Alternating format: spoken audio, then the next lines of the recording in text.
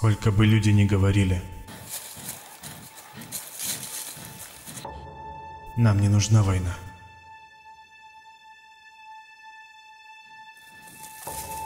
Но почти каждый готов вести войну во имя мира, убивать во имя любви и уничтожать во имя свободы.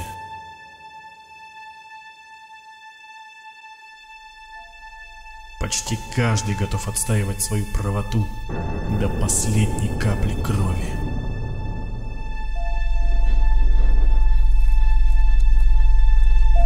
даже когда нужно бороться за жизнь против общего врага,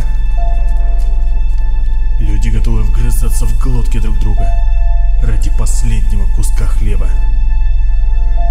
Ибо, как сказал Эрнест Хемингуэй, в современной войне ты подохнешь как собака.